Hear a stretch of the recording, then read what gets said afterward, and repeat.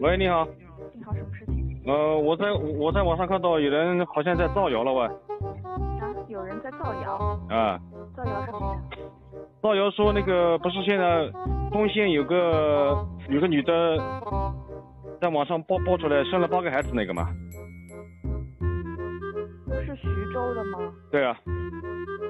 在造谣什么？他造谣，他几份通告内内容不一样呀。第一份通告说是没有拐卖行为，对吧？然后第二份、第三份，现在第四份了，每一份的内内容都不一样。每一份的内容不一样。对啊，他就是有很多互相矛盾的地方。互相矛盾的地方。嗯。第一份。官方已经发出了那个。就是官方在造谣呀，我说的。他那个什么微信。官方在造谣。对啊。怎么了？你说什么？徐州官方在造谣？我不知道是不是徐州官方呀，也可能是某个网民，对不对？那个用用用用用了什么假账号了，所以我要报警啊。那个账号叫风信发布，你们去查查一下呢。风信发布，它不是？怎么了？它不是徐州的风信吗？对啊。怎么造谣了呀？我说了，它四份通过内容都不一样。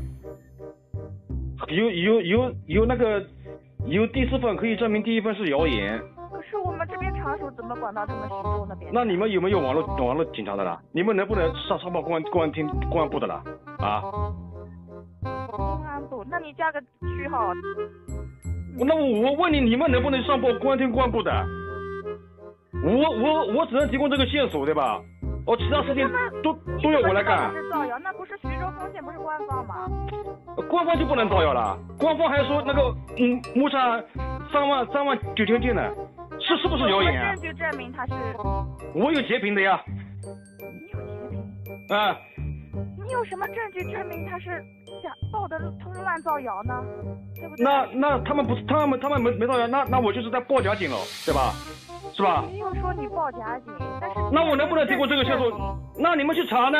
我我提供线索，你们去看证据是不是？查不了他们徐州那边。那就上上上上，那就上报公安厅公安部呀。上报公安厅的话，那你在南京的区号零二五再拨那干嘛要我去了？你你你们你们干嘛的啦？